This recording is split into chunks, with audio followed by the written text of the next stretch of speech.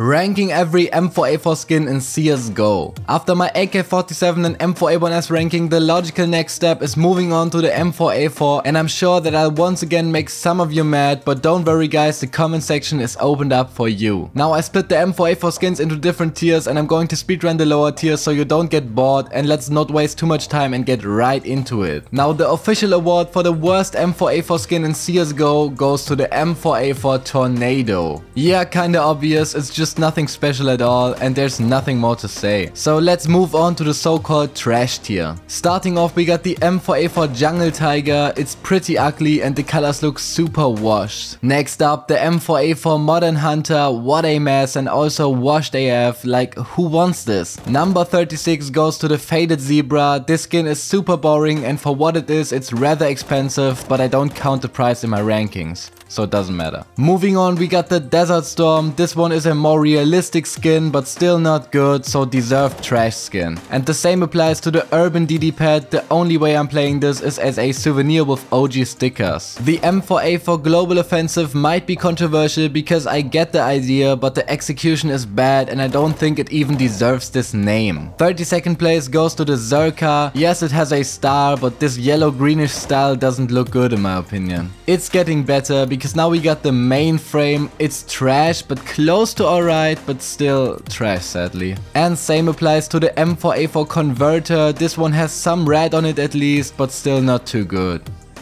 Now moving from trash tier to decent tier, starting off we got the Royal Paladin, the skin itself is decent but the reason why it's so low is the fact that you're just getting mad when you get this skin from the revolver case because we all know you only unbox it for the OG knives. Next up we got the M4A4 Tooth Fairy, bro I hate this skin, I only put it in decent because I'ma get dislikes only if it would be in trash tier. And I also hate the Desolate Space which is next, bro back then this was maybe alright but nowadays no way. I'm in rage mode now, but I can't calm down because next up we got the Hellfire. I don't like this one either. It's not good. No, no, no. I'm sorry. Alright, the Dark Blossom is next and it's super underrated in my opinion. I mean, it's not great, but it has a vibe, I'ma be honest. Number 24 goes to the, the Battle Star. It's alright, it's decent, kinda cool, but not too good. Huh? Moving on, we got the Griffin. I think the artwork is alright. And USA, USA.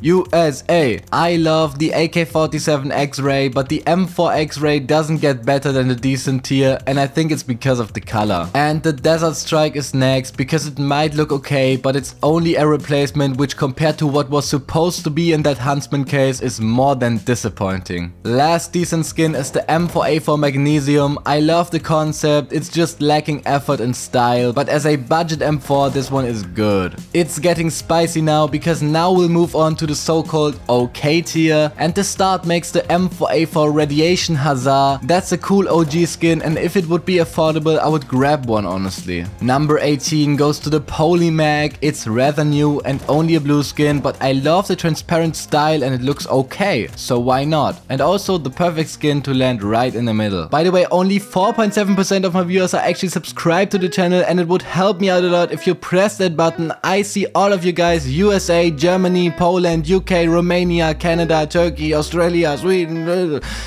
yeah. Thanks. Now the M4A4 Poseidon is next because it's slightly above average in my opinion but nothing close to what people are making out of it. Sorry. Moving on we got the M4A4 Red DDPAT which is a super underappreciated and underrated skin because I honestly think it looks super cool in game and no one plays this. Oh my god he put a DDPAT skin over the Poseidon. Yes and I'm proud of that. Next up we got the Neo Noir. I think the Neo Noir skins are cool but let's not make more out of them as they are, because if you're horny, there's a way better alternative nowadays. 14th place goes to the Buzzkill, and this one gives me fuel injector vibes. If it only had the name and the artwork of the fuel injector, this would be higher on the list. The M4A4 Dragon King is next, and yeah, it hurts a bit, but don't forget that place 13 is still good. Pretty cool and also underappreciated is the cybersecurity, and I think it's a pretty cool futuristic M4. Actually pretty nice now that I see it again. And the next one is the M4A4 in living color. At first I hated this skin, but on second thought I kind of like it, but it's too messy to be in the top 10. Speaking of that, we'll move on to the top 10. Number 10 goes to the M4A4 Daybreak. I love pattern based skins, I love OG skins and this one as a member of the Rising Sun collection fits right into my taste. And number 9 goes to the Bullet Rain. This one also has super OG vibes and I never saw anyone play this in the last 7 years even though it's pretty cool. Moving on we got the M4A4 The Emperor. I had to put this high on the list because the skin is super nice even though I'm a bit skeptical about these type of skins. And next up we got the Evil Daimyo. I think this is the M4A4 to go if you don't want to spend too much money but still like to own a nice skin. Super clean and super nice. Number 6 goes to the Temukau. Great artwork, great colors, I love it. Not not like this. Uh,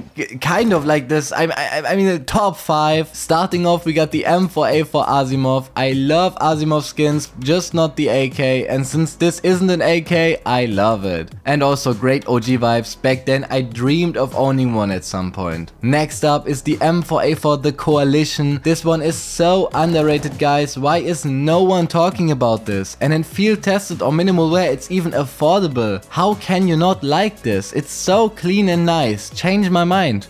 Third place, brand new, the Eye of Horus. Why does nobody realize that this skin will become legendary at some point? I'm pretty sure that at some point the Anubis packages will be gone, so this will stay rare, don't worry guys, and it also looks super good by the way. Number 2 will surprise you because we got the M4A4 Spider Lily on there. I think this skin is so so underrated and so so good. Bro, this is crazy good, don't you agree? Please tell me I'm not alone because I'm getting anxious about this opinion right now. It's it's it's it's great. And the almighty winner of this, yes I know this is obvious, but there's no way in the world that there will ever be any other skin on the number one when it comes to M4A4 skins. It's clearly the M4A4 Howl. If you don't know about the skin, you're either new to CS or completely lost. But I'm actually thinking about making a detailed video about this story. Would you be interested in something like this? And also tell me your top 5 M4A4 skins in the comments and if you're enjoyed watching, subscribe and like for more news and interesting stuff about Counter-Strike. See ya!